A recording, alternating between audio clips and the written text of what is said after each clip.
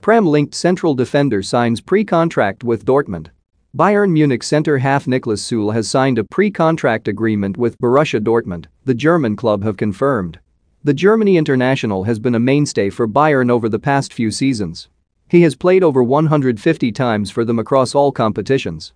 Süle has been heavily linked with a move to the Premier League in recent months with his contract in Munich expiring at the end of the season Manchester United, Chelsea, Newcastle, and Tottenham were all reportedly interested in signing the 26-year-old on a free transfer.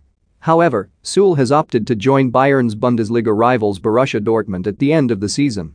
A club statement read, Bundesliga club Borussia Dortmund has signed German international Niklas Süle, 26, for the 2022-23 season. The 1.95-meter-long central defender is currently still in the service of FC Bayern Munich. His contract with the German champions expires in the summer of 2022.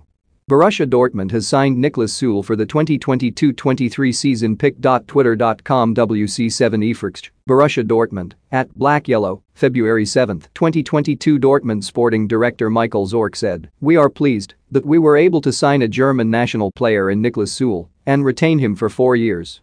Sebastian Kehl, who will succeed Zorc in the summer, added, Nicholas has shown us in personal discussions that he is very interested in Borussia Dortmund. He has a lot of experience, calmness in the build-up game and the necessary physique to take the next step with us from the summer.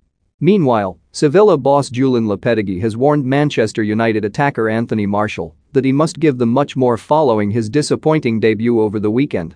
The Frenchman made the move to Sevilla during the January transfer window he was linked with Barcelona and Newcastle before this loan came to fruition. Martial made his debut for Sevilla on Saturday in La Liga against Osasuna. He was brought off in the 77th minute as the Spanish rivals drew 0-0. Sevilla are now six points adrift of league leaders Real Madrid, who beat Granada 1-0 on Sunday. Lopetegui has encouraged Martial to adapt so he can thrive for Sevilla, of course, Martial must give us much more. He needs to adapt and figure out the dynamics